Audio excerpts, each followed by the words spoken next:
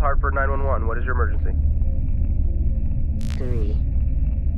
Three people. Ma'am, what's the problem? Three people are dead. I killed them. Ma'am. Ma'am. When I was about eight years old, my mother murdered three people. Police arrived She at the home. had committed these murders during an exorcism. An exorcism performed on her. The Holy Church got involved, and she was transferred to the Centrino Mental Hospital in Rome. So here I am. You start wondering is it in my genes? Am I gonna flip out one day? Just precautions. If she became so difficult, there is a panic button on the wall. Maria, I'm your daughter.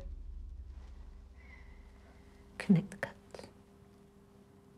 Connect the cuts, connect the cuts.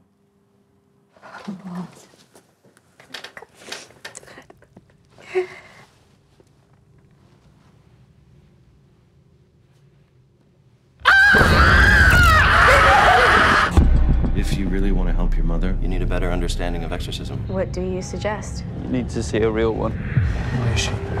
had to move her downstairs to the basement.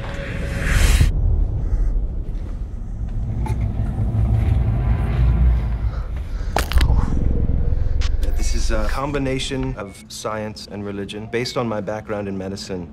Let's begin. Isabella. She said my name. Found four voices on the recordings. What does that mean? Multiple demonic possession. Please help my mother. This isn't consistent with any form of possession that I've ever seen. I'm sorry, Isabella. This. Bitsy spider came down. Isabella, don't listen to it.